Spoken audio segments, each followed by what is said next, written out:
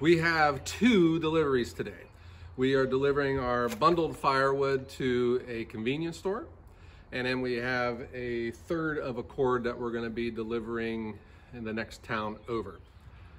This is a new market that we're getting into with bundled firewood.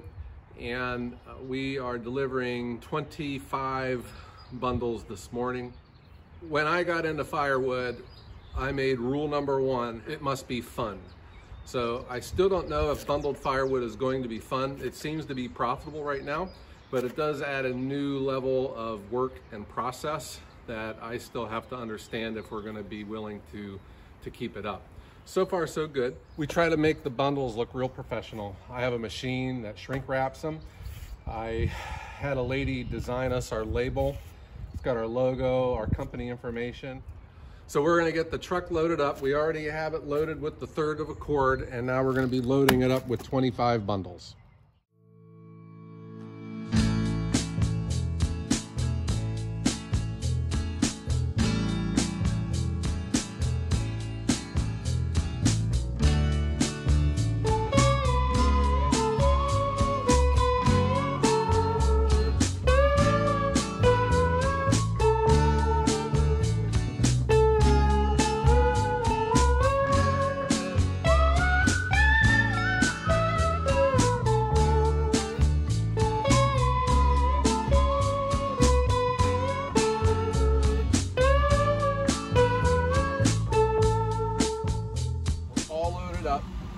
Have 27 in here. I always take a couple extra just in case we, all right, here we go guys.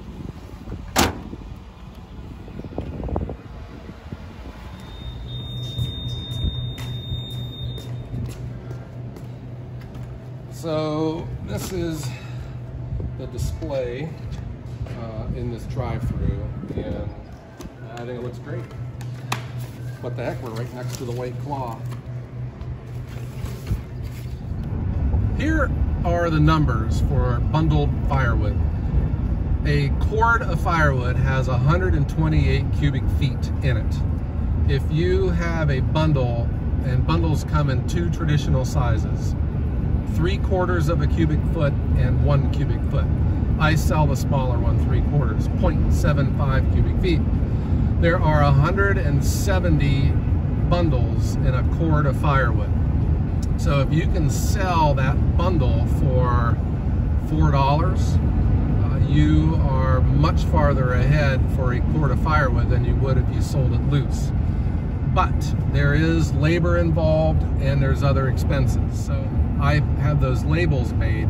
They cost me 15 cents each. Uh, I did the math for the shrink wrap. There's about 17 cents worth of shrink wrap on every single bundle. There is your overhead and then it's a matter of what you can get your contract for per bundle. We are now unloading the truck at the second delivery.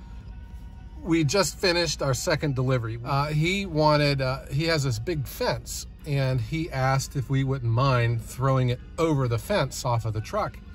He thought it was a big deal. It really wasn't because we just threw everything over the fence and it's their job now to stack it.